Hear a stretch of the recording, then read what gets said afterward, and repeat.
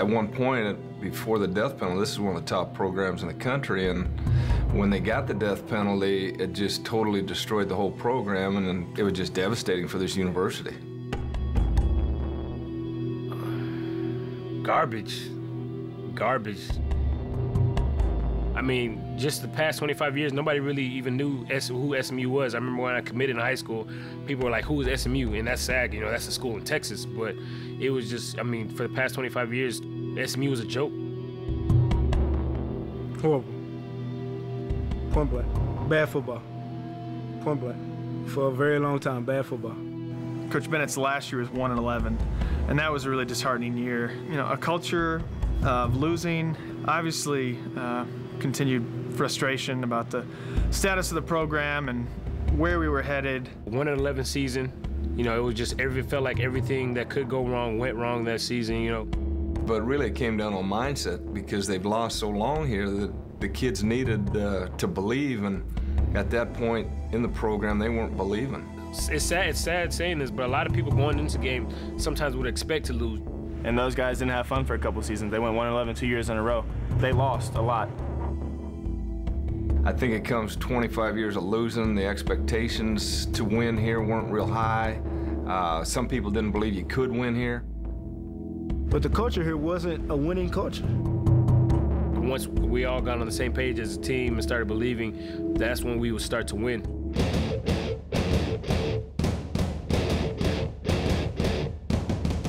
Now, inspired by a new coach, a new attitude, and a new outlook, the SMU Mustangs are determined to restore the glory of this once storybook program.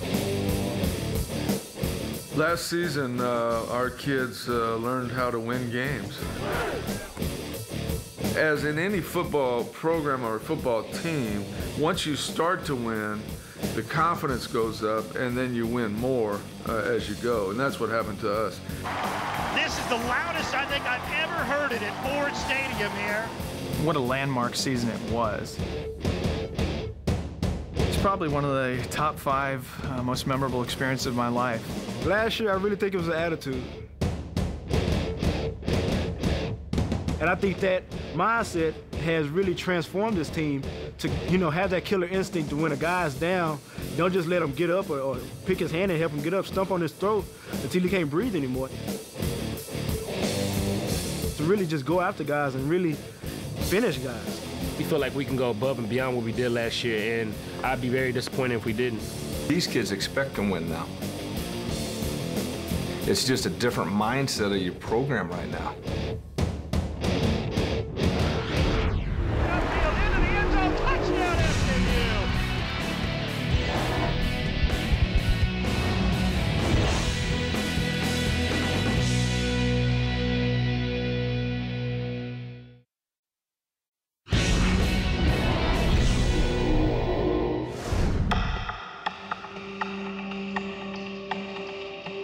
Last season, uh, our kids uh, learned how to hang together and persevere and win games. I mean, we were down, uh, and it didn't matter. I mean, we blocked kicks to win games. We, we did what we had to do to win games. I mean, we beat some teams that were a lot better than we were. Darius Johnson and Emmanuel Sanders are both back to receive this one, and it's going to go to Sanders near side at the 21 heading right to the 30, 35, 40, dancing through the middle of the field, 45, midfield. He's got a blocker out in front. He takes the punter at the 30, the 20, the 10. Touchdown, Emmanuel Sanders.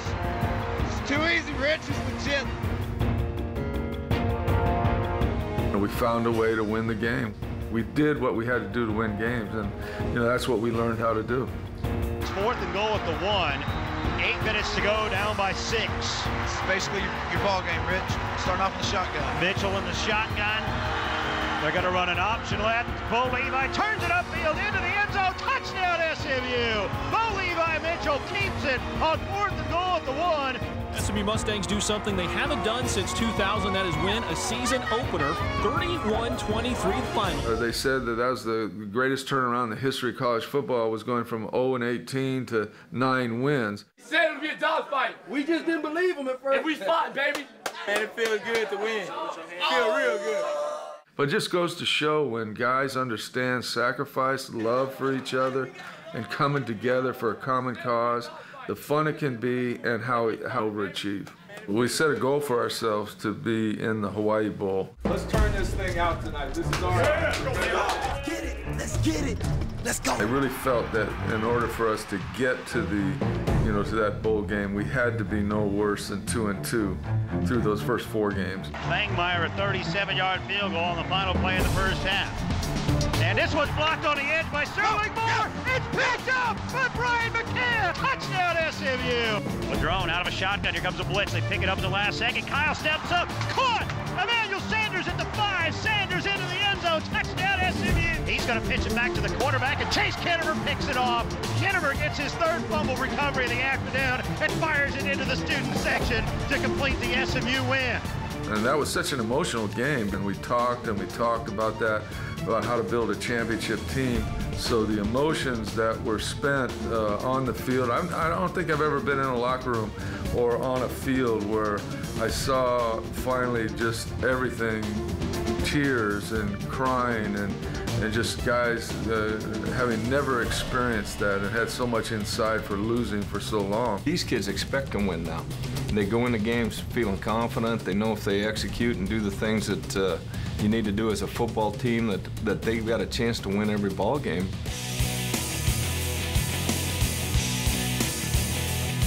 I remember saying to myself, they know the feeling now, and uh, we're going to have a chance. Hands it off again to McNeal. Coming left, no room there. Somehow he finds a hole, and he scores a touchdown. Second of the day for Shawnbrey McNeal on a play that looked dead to rights. And the Mustangs win it. Seven wins for the first time since 1984. The ball fired into the SMU student section. Seven wins, baby, headed to Hawaii. That's what it's all about. Well, our, obviously our confidence level went way up. And the guys understand that we're going to have to hang in and persevere and scrap and fight in every game again. I mean, that's that's what we got to do. Good guy. Keep it up.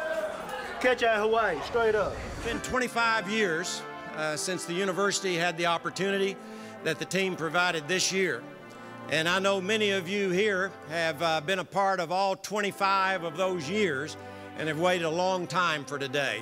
It is my great honor uh, on behalf of SMU to accept the Sheraton Hawaii Bowl's invitation to play in their bowl on Christmas Eve. And we have proven that there is life after death.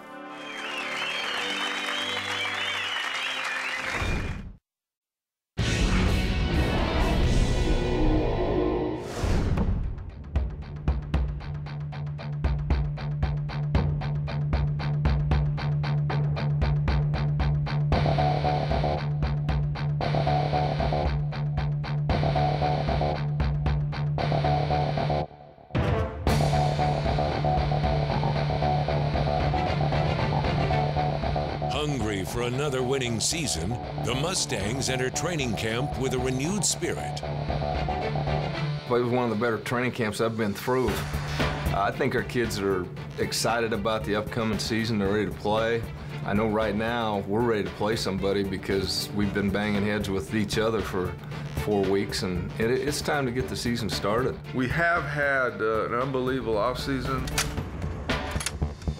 It doesn't matter what you do once training camp starts. It's what you do from January to training camp that really you get a feel for whether you're turning the corner or not. Because everybody goes to camp 1st of August and has 29 practices. But it, the difference is how bad do you want it from January to August? Ready? Let's go! Spread it out! Jeez, oh Pete's! We have quartered the opponent. Tackler's on the right shoulder. When I give the command, set, go, I don't want ooziness. I want a nice crisp. Okay, here we go. Go! We are fast, low, striking snakes. Here we go. That looked pretty good. Go! Not bad, Kevin. Come on, Loftus, you better be low, fast, and athletic.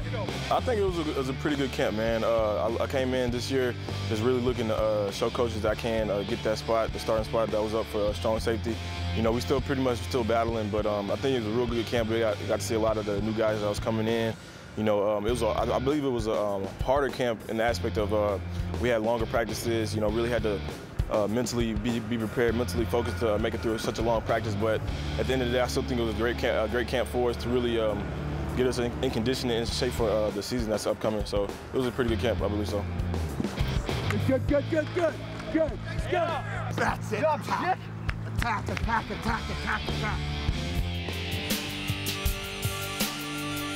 Temperatures hit a record-breaking 107, a blistering 115 on the field. It was a hot one uh, for Texas standards.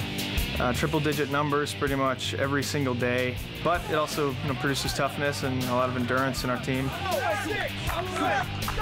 Yeah, you got some challenges in the weather you have in Texas. It's hot, it's humid. Uh, you practice in the mornings, and uh, you hope you don't go out on that turf at 4 o'clock in the afternoon because it might be 120 degrees on that turf. Brutal, brutal, you know, but, you know, maybe hot here, but who says it's not going to be hot the open the game against Texas Tech. So we're just preparing for the worst, and you know we have to do that as a team. So, I mean, like I said, it was brutal, but we had to get used to it. As the last day of camp arrives, Coach Jones rewards his players by cutting the afternoon practice short for a dip in the pool, but with a twist.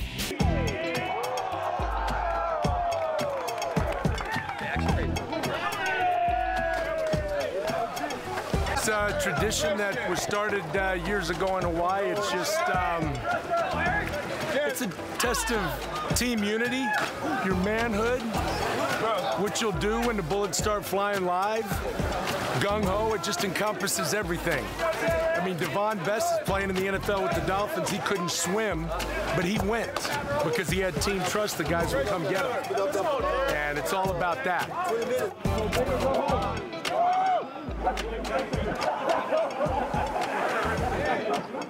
Now, see, consequently, you don't think this matters.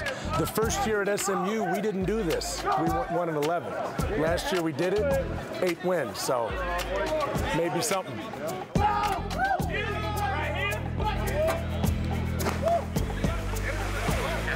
Well, they made the freshmen go all the way to the top on a high dive, and uh, I'm very scared of heights. And uh, it took me a while to go, and when I went, it was just like a like a gasp taken out of you. But once you hit the water, you feel you feel it's all fun and stuff like that.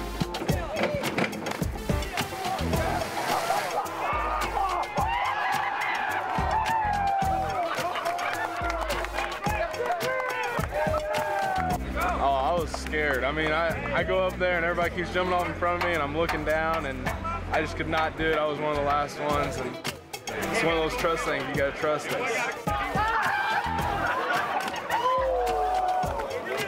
Football is a team sport. So we're gonna do this together. And on that note, we going.